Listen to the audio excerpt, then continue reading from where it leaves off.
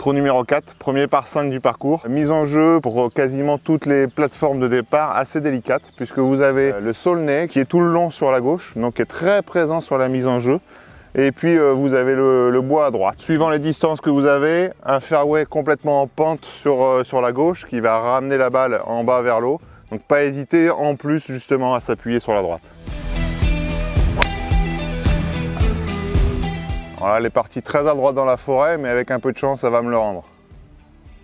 Bon, en fait, euh, on pensait que ma balle était restée dans la forêt. Euh, la forêt me l'a rendue, hein, vous voyez bien, il y, a de la pente tout le long sur, sur la droite. Donc du coup, euh, je suis beaucoup trop loin pour espérer arriver autour du green. Donc je vais refaire un coup, ce qu'on appelle un peu des lay-up, un coup vers le milieu du fairway pour essayer de me garder une centaine de mètres et avoir une belle attaque de green pour peut-être faire le premier birdie.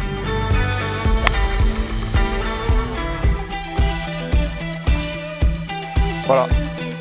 Donc c'est parti, il reste 110 mètres. Euh, le drapeau est sensiblement au milieu du green, un petit peu sur, sur la droite. Sur ce green là, il faut surtout atteindre le milieu du green, parce que la première partie du green est très en pente.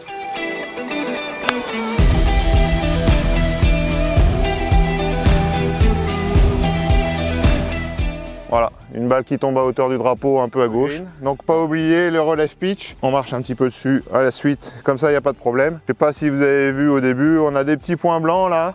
Parce qu'il y a eu un, traitement euh, ce matin sur le green, rien de dangereux euh, comme traitement, c'est un petit engrais pour que le gazon soit en forme cet été et pour que le greenkeeper passe pas deux fois au même endroit. On a un peu Là ici, forcément, vous allez voir, hein, c'est des greens euh, dessinés par Olivier Brison ici sur le parcours de Tour à vrai.